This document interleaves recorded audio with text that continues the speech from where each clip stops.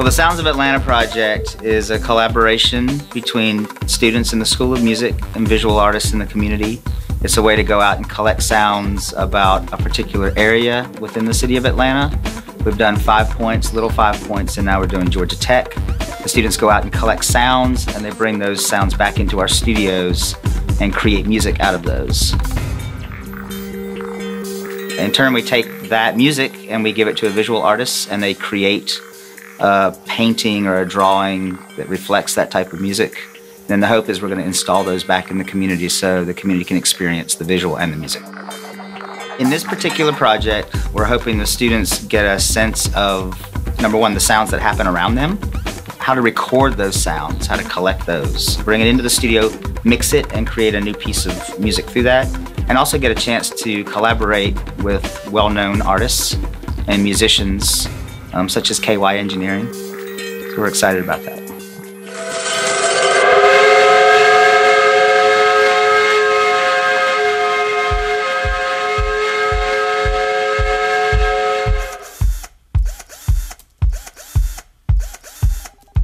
Georgia Tech project as itself is we're hoping to convey a walk across campus. So someone that's familiar with the Georgia Tech campus would their ear would perk up and I know that sound. And we're trying to take those sounds and create a piece of music that has a pulse and a beat and a groove. So you can nod your head to it a little bit as you're walking across campus and you'll still know where you are on the campus.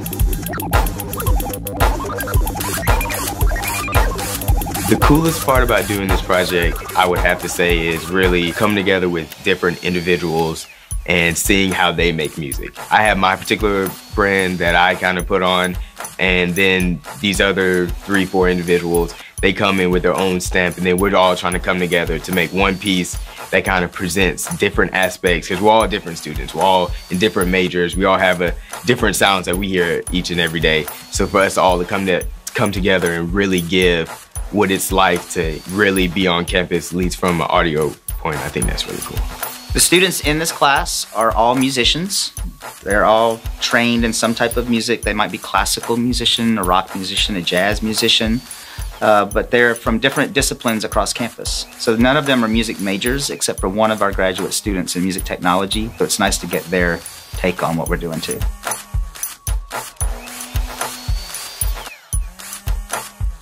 So I picked the sound based upon the campus recreation center. It's a place where um, all of our students come together to really, you know, release some stress physically.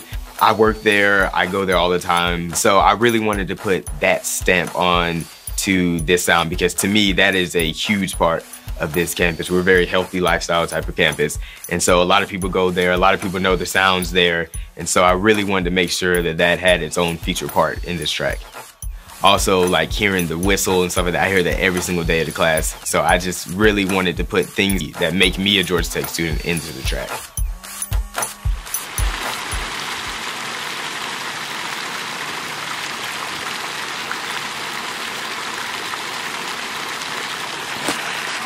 Some of the technical difficulties we faced were that in recording all these sounds on location, there is varying sound quality where you just have this little recorder, maybe you're at a basketball game, you're not going to get a studio quality recording necessarily. So taking these things and trying to make them into a cohesive professional sounding song can be a little difficult. I was working more on uh, taking the sounds and arranging them into a song from these different loops and samples that people had created. And drop the cursor where you want it and hit paste. It's just copy paste. These actually didn't move right. They're not together, are they? No. Yeah. I did like a rough ending because I got some uh, basketball game sounds.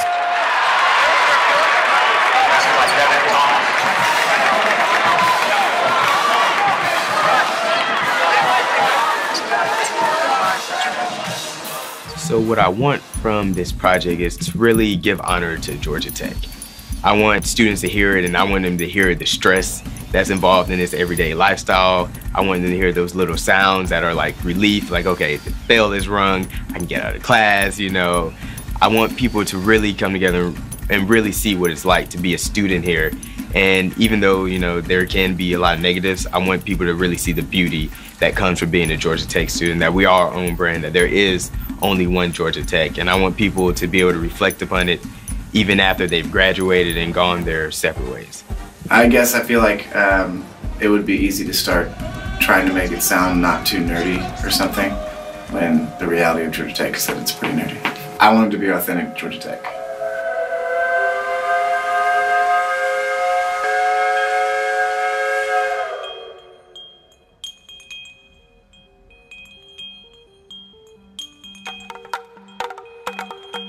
Part in the process is we're gonna, of course, you know, go out and collect the sounds, which we did. It was it was super hot. but um, my job is to collect the sounds and also in the studio with the students, mixing the track, EQing stuff, putting reverb, putting delay, uh, anything that we can do to make the track sound better. Just by hearing something, you can understand that, oh, I'm in this neighborhood because different neighborhoods around Atlanta have different sounds. We started in Little Five Points, which is kind of more of a Oh, I guess I want to say a hippie area. Kind of real eclectic over there, and so you're gonna get a lot of skateboards and street music and just di different type of stuff like that. Got a lot of percussion sounds, bangs, and uh, clashes that we got um, from like doors and windows and radiators and that sort of thing. And then got a couple of more tonal sounds from like bowls and bells and that sort of thing. Just trying to go capture these different spacious and just kind of meditative sounds. But this project has taught me a lot in like editing sounds and trying to go change the sounds. Something different one, especially for me when I do music, because uh, mostly I do hip hop. So I just think that it's something fun and something different that we could get into and you know just learn. It's my first time actually going in the field and getting sounds and stuff like that, which actually I'll probably end up taking back to the music that I actually do when I'm mixing because, you know, just to have that kind of vibe, like it might be a sound that I can maybe just actually go out and record and actually put it into a real song.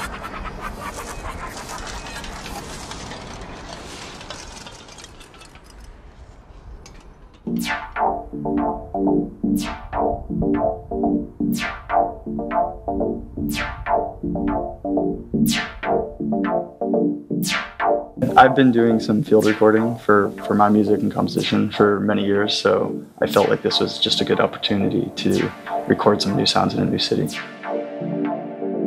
It's actually been pretty difficult, I think, to come up with compositions that I feel are meaningful. For example, with Buckhead, I'm trying to make something that's more of a soundscape and trying something sort of new, um, whereas with Little Five Points, it was more of a, a song that was rhythmic and driving.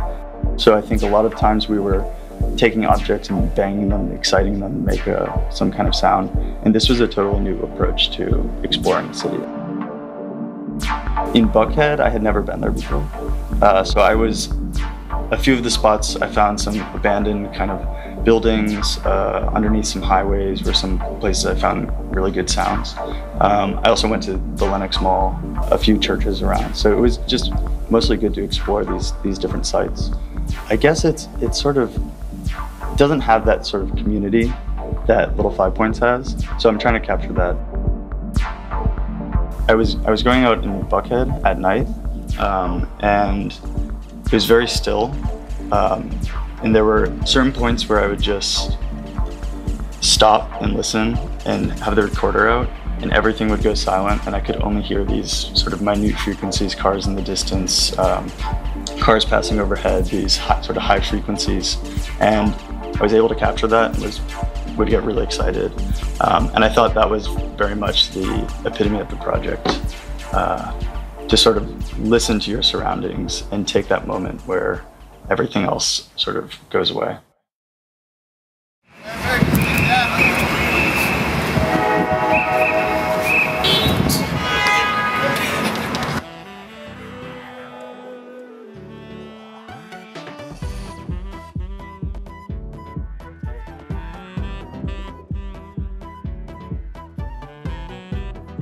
In Five Points, you can really feel all different aspects of Atlanta coming together. If you're on MARTA, you, you could be arriving in Five Points and going to do all sorts of things. Um, there are some people there that are just hanging out for the day.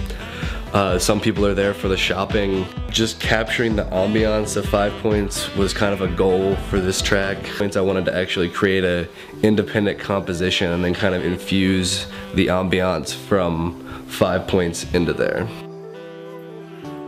A found sound will be one of the sounds that we're getting when we're going around and recording things around Atlanta. So for the Little Five Points track, almost every sound in that song is a found sound, but that, that gave it not so much of a contemporary feel. It sounds a little bit more artistic and maintains the feel of Little Five, but it limited my freedom as a composer. So in Big Five Points, I, I, I don't want to be so much limited by the found sounds, but I definitely wanted to include them and have something that was still reminiscent of Five Points. And so I went ahead and composed a song that was kind of the way I wanted it to be, and then infused the found sounds from Five Points into there. With the Five Points track, I was hoping that it would be something that people would want to listen to, and that's partially why I didn't go so heavy on the found sounds with it. I tried to give it a more contemporary, modern type feel. The Five Points track is really split into two sections, and there's a high energy section and a low energy section. The high energy section really has very few found sounds in it, but the low energy sections are very, very heavy use of found sounds, but they're not necessarily musical so much as textural. For example, the scene of the, the mall in, at Underground Atlanta, and I was just walking through there with a recorder. And if I heard an interesting sound, I would kind of walk closer to it. And so what I did was I picked out the interesting parts of that and layered up a big texture that took all the interesting sounds from the mall and kind of gave you little bits of ear candy during the low energy sections of the song. The low energy parts are the parts that really represent five points, and then the high energy parts I kind of picture as whatever people are doing when they leave there. So I tried to capture the ambiance of as people were going through five points or spending a few minutes during their day there.